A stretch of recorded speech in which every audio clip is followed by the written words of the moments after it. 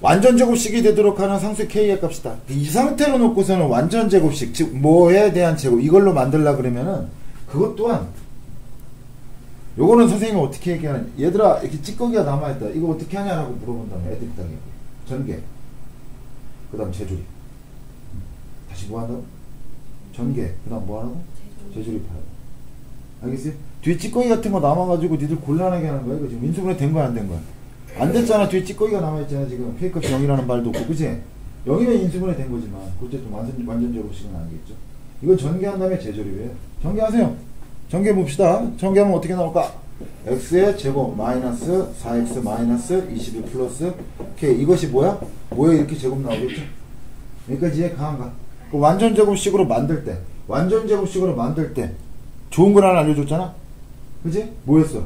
x 제곱의 개수가 1이면 뭘쓸수 있다? 반땡 반땡 반땡 제곱이 나? 반땡이 나, 나는 절반의 제곱이 낫던데 나는 절반의 제곱이니까 알아서 들어? 네. 어, 절반의 제곱이다. 절반의 제곱이다. 뭐의 1차 개수의 절반의 제곱이 상수함과 같다. 원래 플레임은. 다시.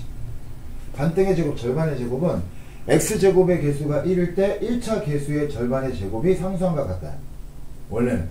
뭔 말인지 얘가? 이거 알려주는 이, 이유는 너 때문에. 뭔 말인지 알죠? 어, 서하종, 서하술령에 나온 게 있었어. 어떻게 푸는지 해설하라 그래서 서술하라고. 애들이 거기다가 미친놈들이 절반의 제곱. 절반 제곱, 반땡 제곱 이렇게 써갖고 틀렸어요. 아, 저, 그, 말이 돼, 그게? 말이 되냐? 말이 안 돼. 그 서술형 답 쓰다 보면 애들 장난 아니야. 나랑 호흡을 맞추자는 게, 나랑 수업에 이걸 위해서는 거지. 뭐, 이거 뭐, 그, 그런 식으로 쓰면 안 되죠. 어?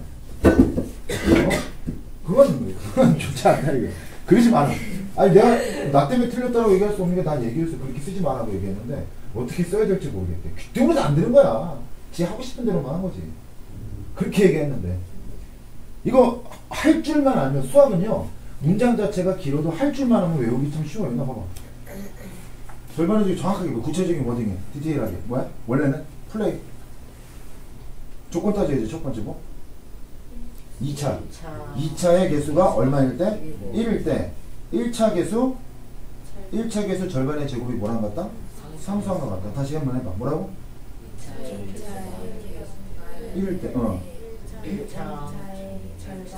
절반의 제곱이? 그렇지. 무슨 말 하는지 얘가? 니들한테는 서술형에 나오니까 그걸 외우고 있어라가 아니야. 내가 니들한테 한번 옳적이고 꼭 알아놔라라고 하는 거는 절반의 제곱 반땡의 제곱을 쓸 때는 절대로 기본 조건 잊지 말라. 이거 무슨 기본 조건이야? 분명히 실수합니다. 한 번은 실수 나와요. 2차 개수가 얼마일 때 가능하다? 1일 때. 과정 알려줬잖아. 2차 개수가 1이 아니면 어떻게 2차 개수를 곱해줘야 되는 그런 상황이 생겼었단 말이지. 무슨 말 하는지 가냐 2차의 개수가 1일 때만 쓸 수 있는 거야? 잊지 말아. 그럼 얘 1이니까 그냥 쓰면 되겠지. 절반하면 얼마? 부호는 신경 안 써도 돼 왜? 어차피 제곱하면 양수 나오니까 절반하면 얼마 y잖아 제곱하면 얼마 4죠 뭐가 4랑 똑같다 상수항이 k 잊지 말고 뭐랑 똑같다? 4랑 똑같다고 k가 얼마 그렇지 간단하죠? 알겠어요? 어, 그렇게 보시면 됩니다. 어, 그 다음 또 몇 번?